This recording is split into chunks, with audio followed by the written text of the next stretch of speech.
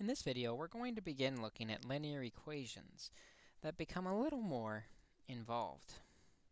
Still, our goal is the same, to figure out what number this x is representing, to make this an equation, a true equation, to make it equal 16. However, there's a little bit more than just the normal two-step equation this time, as we have something in front of the parentheses.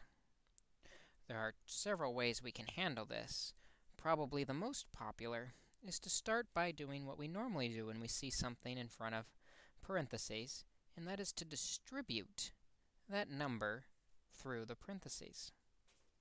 When we distribute through the parentheses, 4 times 2x is 8x, and 4 times negative 6 is negative 24, and this still equals 16.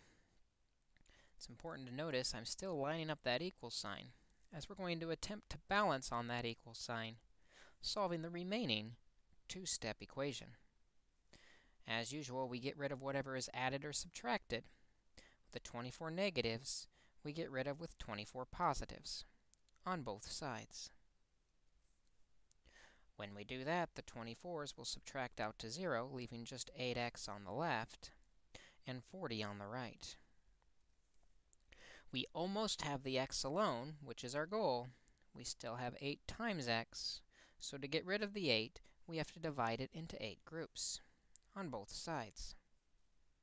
This tells us that each x is equal to 5.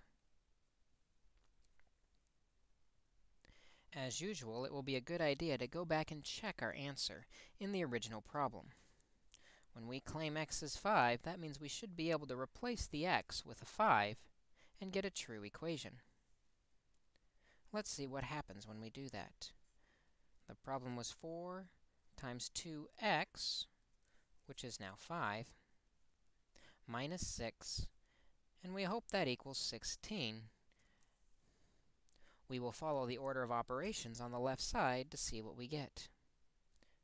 First, inside the parentheses, doing 2 times 5, which is 10, minus 6.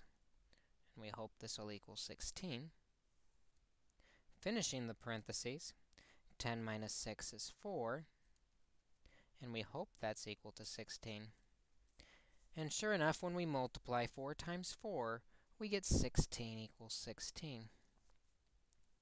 We have found the number for x that will make this into a true equation x equals 5, or represents the missing number 5.